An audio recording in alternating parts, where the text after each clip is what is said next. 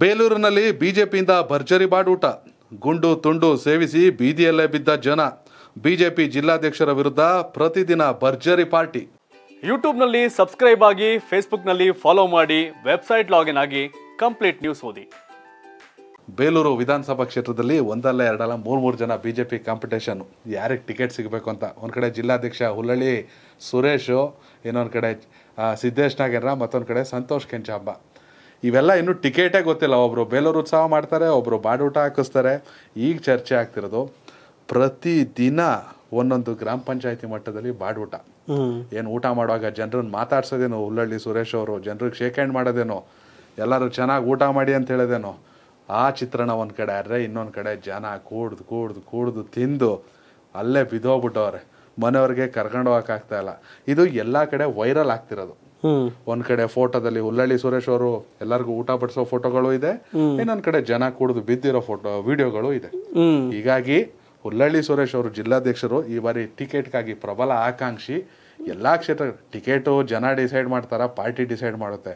But ಜನರ ಪರವಾಗಿ ನಾನು ಇದೀನಿ ಅಂತ ಪ್ರೂವ್ ಮಾಡ್ಕೊಳ್ಳೋಕೆ ಇಂಥ ಒಂದು ಗುಂಡು ತುಂಡು ಪಾರ್ಟಿ ಮಾಡ್ತಿದ್ದಾರೆ ಅನ್ನೋದೊಂದು ಚರ್ಚೆ.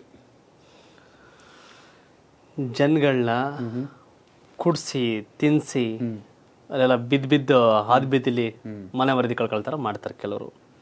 ಅವ್ರಿಗೇನು ಬೇಕು ಅಂತ ಕೇಳೋದಾಗತ್ತೆ ಕೋವಿಡ್ ಟೈಮಲ್ಲಿ ಎಷ್ಟೋ ಜನ ಹಸ್ಕೊಂಡಿದ್ರು. ಆ ಟೈಮ್ ಹಾಕ್ಬೇಕಾಗಿತ್ತು. ಮಾಡಬೇಕಾಗಿತ್ತು. ಉಲ್ಲಳ್ಳಿ ಸುರೇಶ್ ಅಂತ ಜಿಲ್ಲಾಧ್ಯಕ್ಷರಲ್ಲ? ಹೌದು.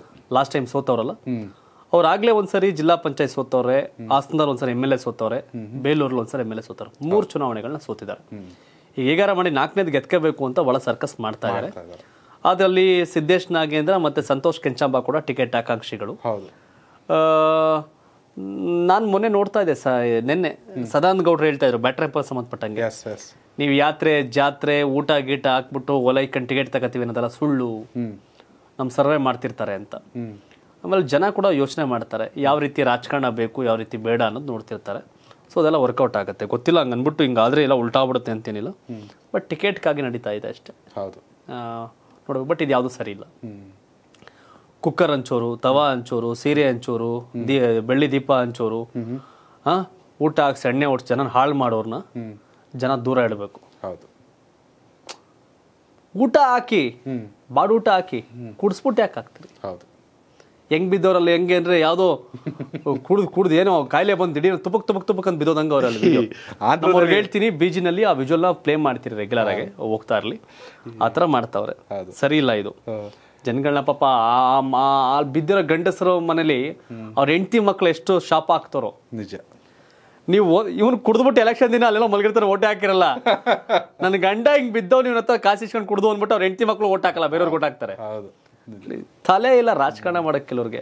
ಕುಡ್ಸಿ ತಿನ್ಸಿ ತೇಗ್ಸಿ ಅವ್ರನ್ನ ದಬಾಕ್ಬಿಡೋದು ಏ ನಾಳೆಗೆ ಯಾರು ಕುಡಿಸ್ತಾ ಅಂತಾನೆ ಗೊತ್ತಿರಲ್ಲ ಅವ್ರಿಗೆ. ನಿಜ. ನಾಳೆ ನಂಗೆ ಕುಡ್ಸಿದ್ ಯಾರು ಅಂತಾನೆ ಗೊತ್ತಿರಲ್ಲ. ಅಲ್ಲಿ ಭಾರಿ ಕಾಮಿಡಿ ಅಂದ್ರೆ ಅವ್ರ ಜನಗಳು ಹೇಳ್ತಾರಲ್ಲ ಇವ್ನ್ ಕಣ್ಲ ಇಲ್ಲಿ ಬಿದ್ದವನ್ ಇವ್ನ್ ಕರ್ಕೊಳ್ಳ ಅವ್ನ್ ಕರ್ಕೊಳ್ಳ ನೀರ್ ಹಾಕ್ಲಾ ಅಂತ ಏ ಹಾಕ್ಬೇಡ ಇರೋ ಅದಾಗ ಹೇಳಿಲಿ ಅಂತ ಇನ್ನೊಬ್ರು. ಒಂಥರ ಸಖತ್ ಕಾಮಿಡಿ ಅಲ್ಲಿ ಊಟ ಅನ್ನದಾನ ತಪ್ಪಲ್ಲ. ನಿಜ. ಅನ್ನದಾನ ಜೊತೆ ಎಣ್ಣೆ ದಾನ ಮಾಡ್ತಿರಲ್ಲ ಅದ್ ಮಹಾ ತಪ್ಪು. ಅನ್ನದಾನ ಮಾಡಿ. ನೀನ್ ಎಷ್ಟೇ ಮಾಂಸ ತಿನ್ನಿ ಎಷ್ಟೇ ಚಿಕನ್ ತಿನ್ನಿ ಏನ್ ಬಿದೋಗ್ಬಿಡಲ್ಲ ನೀವು? ಕುಡಿದ್ರೆ ತಾನೇ ಬೀಳೋದು? ಕುಡ್ಸ್ಬೇಡಿ ತಿನ್ಸಿ ಬೇಕಾರೆ ಊಟ ಒಂದು ತೂಟ ಆಯ್ತದೆ. ಅನ್ನದಾನ ಮಾಡಿ. ಎಣ್ಣೆ ದಾನ ಮಾಡಕ್ ಹೋಗ್ಬೇಡಿ. ಎಣ್ಣೆ ದಾನ ಅನ್ನದಾನ ಮಾಡಿದ್ರೆ ಸಮಸ್ಯೆ ಇಲ್ಲ ಅವ್ರ ಮನೆಗಳಲ್ಲಿ. ಎಣ್ಣೆ ದಾನ ಮಾಡಿದ್ರೆ ಸಮಸ್ಯೆ ಅವ್ರ ಮನೇಲಿ ನೆಗೆಟಿವ್ ಆಗ್ಬಿಡ್ತದೆ ಓಟ್ ಏನು ಮಾಡಕ್ ಕೆಲವು ರಾಜಕಾರಣ ಬೇರೆ ತರ. ಎಸ್ ವೀಕ್ಷಕರೇ ಬೇಲೂರು ವಿಧಾನಸಭಾ ಕ್ಷೇತ್ರದ ಮತದಾರ ನೀವಾಗಿದ್ದಲ್ಲಿ ನಿಮ್ ಪ್ರಕಾರ ನಿಮ್ ಕ್ಷೇತ್ರದಲ್ಲಿ ಯಾರು ಶಾಸಕರಾಗಬೇಕನ್ನೋದನ್ನ ಕಾಮೆಂಟ್ ಮಾಡಿ ಹಾಗೆ ಮುಂಬರುವ ವಿಧಾನಸಭಾ ಚುನಾವಣೆಯಲ್ಲಿ ಯಾವ ಪಕ್ಷ ಅಧಿಕಾರಕ್ಕೆ ಬರಬೇಕು ಯಾರು ಸಿ ಎಂ ಆಗ್ಬೇಕು ಅನ್ನೋದನ್ನ ತಿಳಿಸಿ. ಇಷ್ಟೊತ್ತು ಬುದ್ಧಿ ಹೇಳ್ತಿದ್ವಿ ಏನೇನ್ ಮಾಡ್ಬೇಕು ಅಂತ ಕೊನೆಗೊಂದು ಮೆಸೇಜ್ ಒಂದು ಮೆಸೇಜ್ ನಮ್ದು ಯಾವಾಗಲೂ ಫಿಕ್ಸ್ ಇದು. ಯಾರೋ ವಾಕ್ರಿಕೆ ಅನ್ಕೊಂಡು ಪರವಾಗಿಲ್ಲ ನಿಮ್ಮ ಕ್ಷೇತ್ರದಲ್ಲಿ ಯೋಗ್ಯರಿಗೆ ಓಟ್ ಹಾಕಿ ಹಣ ಹೆಂಡ ಸೀರೆ ಹಂಚಿದವ್ರಿಗೆ ಓಟ್ ಹಾಕ್ಬೇಡಿ ಎಸ್ ಲಿಸ್ಟ್ ಮಾಡ್ಕೊಳ್ಳಿ ಕಣದಲ್ಲಿ ಯಾರು ಉಳಿತಾರೆ ಅವ್ರಿಗೆ? ಅವ್ರು ಯಾವುದೇ ಪಾರ್ಟಿ ಆಗಿರ್ಲಿ ಯೋಗ್ಯನ ಅಯೋಗ್ಯನ ನೋಡಿ. ಯೋಗ್ಯರನ್ನ ಆಯ್ಕೆ ಮಾಡಿ. ಯಾಕಂದ್ರೆ ಯೋಗ್ಯರನ್ನ ಆಯ್ಕೆ ಮಾಡಿದ್ರೆ ನೀವು ಕೇಳೋಕೆ ಅರ್ಹತೆ ಇರುತ್ತೆ ಅವ್ರು ನಿಮ್ಮ ಮಾತು ಕೇಳ್ತಾರೆ. ಹೌದು. ಸೊ ಹಾಗಾಗಿ ಯೋಗ್ಯರನ್ನ ವಿಧಾನಸೌಧ ಕಳಿಸಿ ಅಂತ ಹೇಳ್ತಾ ಆ, ಇದು ಮುಗಿಸ್ತೇವೆ. ಧನ್ಯವಾದ ಇದು ಕರ್ನಾಟಕ ಟಿವಿ. ಕನ್ನಡಿಗರ ಧ್ವನಿ. ಯೂಟ್ಯೂಬ್ನಲ್ಲಿ ಸಬ್ಸ್ಕ್ರೈಬ್ ಆಗಿ ಫೇಸ್ಬುಕ್ನಲ್ಲಿ ಫಾಲೋ ಮಾಡಿ ವೆಬ್ಸೈಟ್ ಲಾಗಿನ್ ಆಗಿ ಕಂಪ್ಲೀಟ್ ನ್ಯೂಸ್ ಓದಿ.